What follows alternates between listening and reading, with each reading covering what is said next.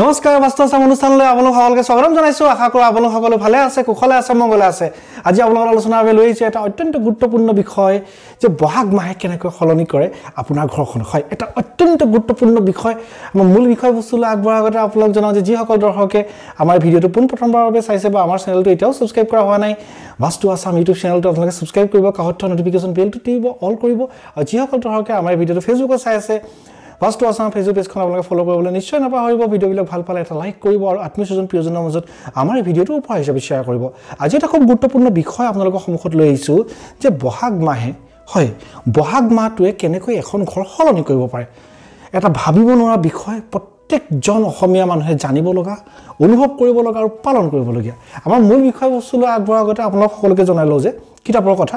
ইতিমধ্যে সকলোৱে গম পাইছে যে বহাগ মাহত হয় এই বহাগ মাহত আমাৰ দ্বাৰা ৰচিত বাস্তুশাস্ত্ৰৰ ওপৰত দ্বিতীয়খন গ্ৰন্থ প্ৰকাশ হ'ব। হয় ইতিমধ্যে আমি এই কথা ঘোষণা কৰিছোঁ। আগৰ গ্ৰন্থখন আছিল বাস্তুশাস্ত্ৰৰ পৰিৱেশ সলনি কৰক আপোনাৰ ঘৰখন। ইতিমধ্যে অসমৰ বহু সংখ্যক লোকে এই গ্ৰন্থখন ক্ৰয় কৰিছে। প্ৰকাশ হোৱা ছটা মাহত ছটা সংস্কৰণ প্ৰকাশ পাইছে। এতিয়া বাস্তুশাস্ত্ৰৰ ওপৰত পৰৱৰ্তী গ্ৰন্থ নতুন গ্ৰন্থ প্ৰকাশ পাব এই বহাগ মাহতে। তাৰ কাৰণে বুকিং চলি আছে। নতুন গ্ৰন্থখনৰ কি নাম বাস্তুশাস্ত্ৰৰ পৰিৱেশে সৌভাগ্যশালী কৰক আপোনাৰ ঘৰখন? হয় এখন সৌভাগ্যশালী কৰিব পৰা গ্ৰন্থ। যিসকল দৰ্শকে এই গ্ৰন্থখন এতিয়ালৈকে বুক কৰা নাই আমাৰ আমাৰ স্ক্ৰীণত যি নাম্বাৰ দিয়া আছে সেই নাম্বাৰত ফোন কৰিব নালাগে হোৱাটছআপ যোগে আপোনাৰ নাম আৰু সম্পূৰ্ণ ঠিকনা প্ৰেৰণ কৰি কিতাপৰ এটা কপি আপুনি বুক কৰিব পাৰিব। ইতিমধ্যে আমাৰ গ্ৰন্থ প্ৰকাশ হোৱাৰ আগেয়ে নতুন প্ৰকাশ পাবলগীয়া গ্ৰন্থখনৰ বহুখিনি কিতাপ অলৰেডি বুক হৈ গৈছে বিক্ৰী হৈ গৈছে। গতিকে যিসকল লোকে যোৱাবাৰ আমাৰ প্ৰথম কিতাপখনৰ ক্ষেত্ৰত প্ৰকাশ হোৱাৰ পূৰ্বে সকলো কিতাপ আমাৰ বিক্ৰী হৈ গৈছিলে। এই গ্ৰন্থখনিৰ ক্ষেত্ৰতো যিসকল লোকে বুক কৰা নাই উন্নতি পলমে আপোনাৰ নাম আৰু সম্পূৰ্ণ ঠিকনা প্ৰেৰণ কৰি কিতাপৰ এটা কপি আপুনি ক্ৰয় কৰিব পাৰে হওক। এতিয়া আহোঁ মূল বিষয়বস্তু। হয় আজি বিষয়বস্তু কি? যে বহাগ মাহ। হয় সকলোৱে জানে বৰ্তমান চ'ত মাহ চলি আছে। কিছুদিনৰ পিছত আপোনাৰ মোৰ সকলোৰে কাৰণে। অধীৰ অপেক্ষাৰ বসন্ত ঋতু প্ৰৱেশ কৰিব। এই বসন্ত ঋতুত আমাৰ অসমীয়াৰ বাপুতি শাসন বহাগ বিহু ৰঙালী বিহু সকলোৱে উদযাপন কৰা হয়। য়েছ চাওক বিহু বুলি ক'লে এটা উলহ মালহৰ বস্তু এটা অধীৰ অপেক্ষাৰ বস্তু। সকলো মনৰ সকলো মানুহৰ মাজত অসমীয়া মানুহৰ মাজত অসমত বসবাস কৰা মানুহৰ মাজত বিহু বুলি ক'লে এটা আৱেগ জড়িত হৈ থাকে। আজি আপোনাক জনাম যে বহাগ মাহটো হয় আহিব লগা সোমাব লগা প্ৰৱেশ কৰিব লগা অসমীয়া কেলেণ্ডাৰৰ প্ৰথম প্ৰথম মাহ বহাগ মাহটোৱে কেনেকৈ আপোনাৰ তথা আপোনাৰ ঘৰখন সলনি কৰিব পাৰে।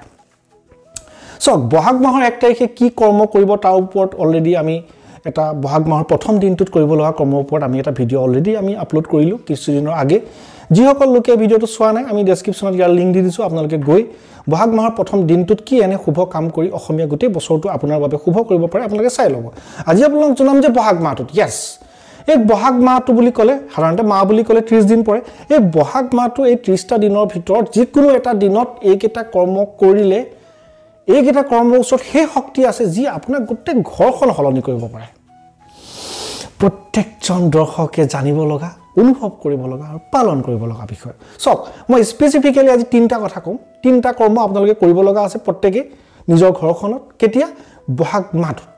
য়েছ বহাগ মাহত কৰা এই তিনিটা কৰ্মৰ কি ফলাফল আপুনি পাব পাৰে আপুনি কল্পনাও কৰিব নোৱাৰে। এই তিনিটা কাম যি তিনিটা বিষয় আজি আপোনাক উপস্থাপন কৰিম বহাগ মাহত কৰিলে বা বছৰটো বাৰটা মাহে ইয়াৰ সুফল পাব। আৰু আমি সাধাৰণতে চাওক যিবিলাক কাম কৰোঁ খুব সাধাৰণ। যিকোনো মানুহে অনায়াসে কৰিব পৰা।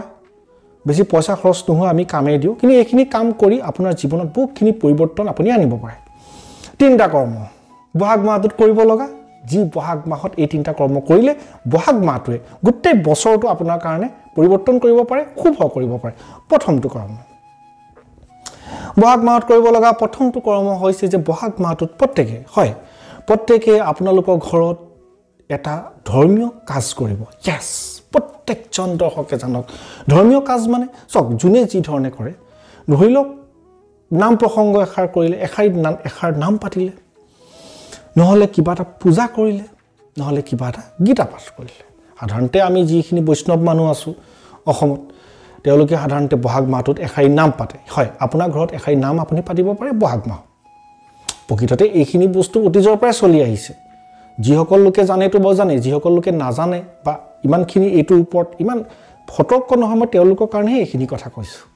এষাৰী নাম পাতিব পাৰে নতুবা সত্যনাৰায়ণ পূজা পাতিব পাৰে খুব শুভ। আপুনি বহাগ মাহটোত যদি ঘৰত এটা সত্যনাৰায়ণ এভাগ পূজা পাতে অত্যন্ত শুভ। যিসকল লোকে পূজা পাঠ কৰে তেওঁলোকে সত্যনাৰায়ণ পূজা পাতিব পাৰে নতুবা কিতাপ পাঠো কৰিব পাৰে। যোনে যেনেকৈ ভাল পায় যোনে যেনেকৈ বিচাৰে কিন্তু মই ক'ব বিচৰা কথাটো কি যে বহাগ মাহটোত ঈশ্বৰৰ কাৰণে নেদেখাজনৰ কাৰণে ঘৰত এষাৰ এষাৰি নাম নহ'লে এভাগ পূজা। আয়োজন কৰক এই বহাগ মাহৰ ত্ৰিছটা দিনৰ ভিতৰত যিকোনো কেছ প্ৰত্যেকজন দৰ্শকে জানক। আৰু চাওক বহাগ মাহত যেতিয়া আপুনি ধৰ্মীয় কোনো কাম কাজ কৰে তেনেহ'লে আপুনি ধৰ্মীয় কাম কাজখিনি আপুনি শুক্ল পক্ষত কৰিলে আৰু বেছি ফল পোৱা যায়। য়েছ প্ৰত্যেকজন দৰ্শকে এইটো কথা মনত ৰাখক। দ্বিতীয়টো কৰ্ম। বহাগ মাহটোত কৰিব লগা যি কামে আপোনাক গোটেই বছৰটো শুভ কৰিব পাৰে। আপোনাৰ ঘৰখন বাস্তুসন্মত হিচাপত কিবা এটা শুদ্ধ কৰক। য়েছ প্ৰত্যেকজন দৰ্শকে অনুভৱ কৰক। কি শুদ্ধ কৰিব? চাওক আমিতো লাষ্ট দুবছৰ তিনি বছৰৰ পৰা অগণন ভিডিঅ' প্ৰস্তুত কৰি আছোঁ। অসমীয়া ৰাইজৰ আগত অতি সহজ সৰল ভাষাত বাস্তুশাস্ত্ৰ বাণী প্ৰচাৰ কৰি আছোঁ। চাওক বাস্তুশাস্ত্ৰ এটা খুব গভীৰ তত্ত্বগধুৰ বিষয়। ইয়াত কেল হিউজ কেলকুলেশ্যন আছে ইয়াত মেথমেটিক্স আছে বহুতখিনি বস্তু আছে। কিন্তু আমি বস্তুখিনি আপোনালোকৰ আগত এনেকৈ উপস্থাপন কৰিবলৈ চেষ্টা কৰিছোঁ যিকোনো মানুহে যাতে সেইখিনি বুজি পাব পাৰে। যাতে বোধগম্য হয়। সেইকাৰণে আমি খুব সাধাৰণভাৱে বুজাই আছোঁ। আমাৰ ভিডিঅ'খিনি চাওক। ভিডিঅ'খিনি আমাৰ আগৰ ভিডিঅ'খিনি চালে আপোনাৰ আপোনাৰ যিসকল লোকে আমাৰ ভিডিঅ'খিনি ৰেগুলাৰ চায় এটা কথাটো আপুনি স্পষ্ট হ'ব যে আপোনাৰ ঘৰত কি কি ভুল হৈ আছে। আপুনি এটা আভাস আপোনাক দিবই দিব। আৰু সেইটো কাৰণেতো আমি ইমানখিনি দিন ৰাত পৰিশ্ৰম কৰি আপোনালোকৰ আগত প্ৰত্যেক সপ্তাহত এটা জ্ঞান গম্ভীৰ তথ্য থকা এটা ভিডিঅ' আগবঢ়াইছোঁ। মই ক'ব বিচৰা কথাটো কি যিকোনো এটা ভুল যিটো আপুনি জানে আপোনাৰ ঘৰত হৈ আছে আমাৰ ভিডিঅ'ত আমি বহুত কথা উল্লেখ কৰিছোঁ। ঘৰখনত বাস্তুসন্মত হিচাপত বা বাস্তু শুদ্ধ কৰাৰ ক্ষেত্ৰত এটা খোজ আপুনি দিয়ক এই বহাগ মাহটো। কেছ প্ৰত্যেকজন দৰ্শকৰ কাৰণে এইটো কথা জনাইছোঁ। আপুনি গম পাইছে এইটো ভুল হৈ আছে। আমি তাৰ যিখিনি প্ৰভাৱ সেইখিনিও আমি ব্যক্ত কৰিছোঁ। আপুনি নিজাই চালে গম পাব আপোনাৰ ঘৰৰ লগত যিখিনি যে এইটো জেগাত এইটো ভুল হৈ থাকিলে আপোনাৰ ঘৰখনত কি প্ৰভাৱ পৰে? তাৰ কাৰণে যিকোনো এটা আপুনি বাছি লওক যিটো আপোনাৰ ঘৰত বাস্তুদোষ আছে সেই দোষটো সেই আপুনি শুদ্ধ কৰক। কেতিয়া? এই বহাগ মাহটোত ত্ৰিছটা দিনৰ ভিতৰত কোনোবা এটা দিনত। কেছ প্ৰত্যেকজন দৰ্শকে মনত ৰাখক। তাৰমানে চাওক আমি কি বিচাৰোঁ যে আমাৰ ঘৰবিলাক শুদ্ধ হওক। আমাৰ ঘৰবিলাক শুদ্ধ হ'লে আমাৰ মানুহৰ সুখ শান্তি উন্নতি হওক। তেতিয়াই সমাজখন আগবাঢ়িব। অসমত মেক্সিমাম মানুহ ভুগি আছে বাস্তুদোষত যিটো বস্তু সকলোতকৈ বেছি প্ৰয়োজন মই ভাবোঁ যে ঘৰখন বাস্তু শুদ্ধ থকাটো। ঘৰৰ বাস্তু শুদ্ধ থাকিলে সেইখন ঘৰ কেতিয়াও দুখ দুৰ্দশা নাপায় অশান্তি নহয়। সুখ সকলোৱে বিচাৰে। আপুনি মই সকলোৱে সুখ বিচাৰোঁ। কিন্তু সুখ পাবলৈ হ'লে সুখী হ'বলৈ হ'লে উন্নতি হ'বলৈ হ'লে আমি বসবাস কৰা ঘৰখন শুদ্ধ হ'ব লাগিব। সেইটো হ'ল একদম প্ৰাথমিক মৌলিক কাম। চ' মই ক'ব বিচৰা কথাটো কি? বহাগ মাহত প্ৰত্যেকেই নিজৰ ঘৰখনত এটা বাস্তুদোষ খণ্ডন কৰি শুদ্ধ কৰিবলৈ চেষ্টা কৰক।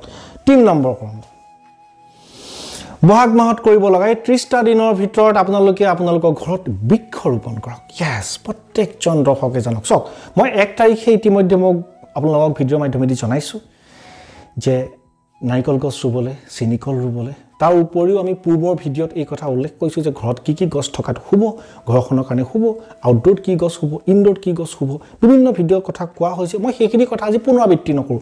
কিন্তু মই আপোনালোকক জনাব বিচৰা কথাটো কি? কথাটো এইটোৱেই যে এটা কথা আপুনি মনত একদম স্থিৰ কৰি লওক আজি যে বহাগ মাহটো হৈছে যে গছ ৰোৱাৰ মাহ। য়েছ প্ৰত্যেকে ভাবি লওক। এই মাহটো হৈছে বৃক্ষ ৰোপণ কৰাৰ মাহ। চাওক এই মাহটো অকল বৃক্ষ ৰোপণ কৰাই নহয় বিভিন্ন কাম কৰিব লগাও মাহ কিন্তু তাৰ ভিতৰত এটা হৈছে বৃক্ষ ৰোপণ কৰা। বহাগ মাহত আপোনাৰ ঘৰত বৃক্ষ ৰোপণ কৰিলে আপুনি যিটো সুফল পাব বাকী কোনো মাহত আপুনি বৃক্ষ ৰোপণ কৰিলে সেই সুফল নাপায়। য়েছ প্ৰত্যেকজন দৰ্শকে এইটো কথা জানো যিসকল লোকে ফ্লেটত আছে যিসকল লোকে বিদেশত আছে টাবত আনি ৰুৱক কোনো কথা নাই। খালি আপুনি এটা কথা স্পেচিফিক হওক। নিৰ্দিষ্ট হৈ লওক যে বহাগ মাহত মোৰ ঘৰত গছ ৰুব লগা আছে যি গছ আপুনি ৰুৱে। যি গছ মানে আমি ইতিমধ্যে উল্লেখ কৰিছোঁ আগৰ ভিডিঅ'ত আপুনি চাই ল'ব যে ঘৰ এখনত কি কি গছ থাকিলে ভাল ক'ত থাকিলে ভাল। সেই কথা আমি খুব নিৰ্দিষ্টভাৱে প্ৰত্যেকজন দৰ্শকক অৱগত কৰিছোঁ। সেইখিনি কথা আজি নিশ্চয় মই পুনৰাবৃত্তি নকৰোঁ কিন্তু মই ক'ব বিচৰা কথাটো কি যে বছৰ বাৰটা মাহৰ ভিতৰত অন্যান্য সময়ত গছ ৰোৱাতকৈ এই মাহত বহাগ মাহত গছ ৰুলে আপুনি যিটো বেনিফিট পাব সকলো ফালৰ পৰা। আপোনাৰ ঘৰত গোটেই বৃহস্পতিয়ে ভাল হৈ যায় যদি আপুনি এই বহাগ মাহত ঘৰত গছ ৰুৱে। যি যি গছ ৰুম ভাবিছে মুঠতে বহাগ মাহটোত আপুনি গছ ৰুই ঘৰত একদম ঘৰত যিমান পাৰে গছ ৰুওক। মাটি নাই টাবত ৰুওক। ইনড'ৰ প্লান কৰক। কিন্তু বহাগ মাহটো আপুনি গছ ৰোৱাৰ কাৰণে ব্যৱহাৰ কৰক। তিনিটা কৰ্মৰ কথা আজি জনালোঁ। খুব সাধাৰণ কৰ্ম চাওক কিন্তু মই আজি নিৰ্দিষ্টকৈ জনাইছোঁ কাৰণ কেলৈ এই তিনিটা কৰ্মৰ ওচৰত সাংঘাতিক ধৰণৰ শক্তি আছে। আপোনাৰ গোটেই ঘৰখন পৰিৱৰ্তন কৰিব পাৰে গোটেই জীৱনটো সলনি কৰিব পাৰে। চ' এই কথাখিনি প্ৰত্যেকজন দৰ্শকে অনুভৱ কৰক। যে বহাগ মাহত আমি বিহু উদযাপন কৰোঁ পিঠা বনাওঁ এইখিনিতো নিত্য কৰ্ম যুগ যুগ ধৰি চলি আহিছে। এইখিনি কৰ্ম আপোনালোকে কৰক পৰিৱৰ্তন আপোনালোকে নিজেই পাব অতি সোনকালে। চ' আশা কৰোঁ আজি এই ভিডিঅ'টোৰ মাধ্যমত প্ৰত্যেকজন দৰ্শকক জানিব লগা পালন কৰিব লগা এটা অত্যন্ত দৰকাৰী কথা জনাব পাৰিলোঁ বুলি। প্ৰত্যেকজন দৰ্শকে আমাৰ এই ভিডিঅ'টো যিমান পাৰে চাৰিওকাষে শ্বেয়াৰ কৰক অসমীয়া মানুহৰ ওচৰত শ্বেয়াৰ কৰক। আপুনি যিমান শ্বেয়াৰ কৰিব সিমান মানুহে ভাল কথা জানিব। তাক প্ৰয়োগ কৰি যদি উপকৃত হয় তেনেহ'লে সেয়াটো এক পুণ্য।